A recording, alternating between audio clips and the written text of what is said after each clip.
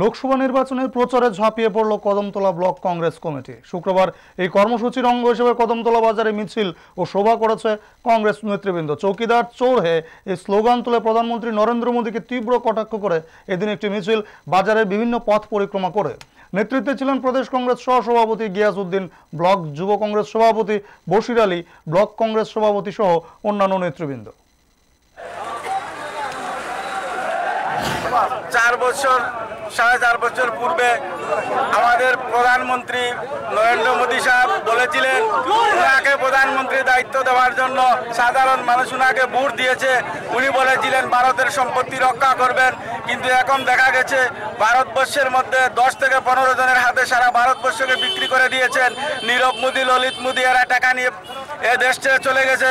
তাই আমরা আজকে একটা স্লোগান বের করেছি চকিদার! চকিদার! আসন্ন লোকসভার নির্বাচন উপলক্ষে এবং এলাকার মধ্যে একটা কংগ্রেসের জোয়ার আসায়, কতটুক জোয়ার এসেছে, তার একটা প্রমাণ করার জন্য আজকে আমরা এই মিছিল সংগ্রহ করেছি।